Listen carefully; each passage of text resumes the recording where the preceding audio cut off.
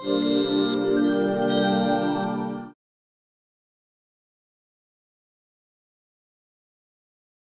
governo dobbiamo ancora finire di incassare una parte del contratto e quindi direi che ancora non è chiusa completamente questa, questa vicenda negoziale, per quanto il passaggio sia certamente positivo con l'anticipo di un pezzo significativo delle risorse. Il fronte dell'autonomia differenziata per noi non si è mai chiuso, noi abbiamo proclamato uno sciopero contro il governo Conte 1 e abbiamo poi fatto un accordo per escludere la scuola da qualunque intervento di regionalizzazione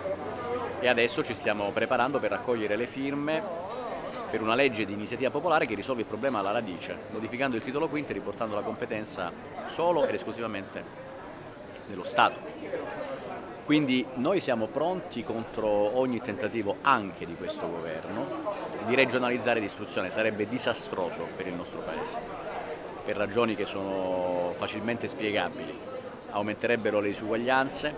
le condizioni, di, le condizioni di lavoro si differenzierebbero in base alla ricchezza delle regioni, una cosa inaccettabile, infatti noi non ci staremo.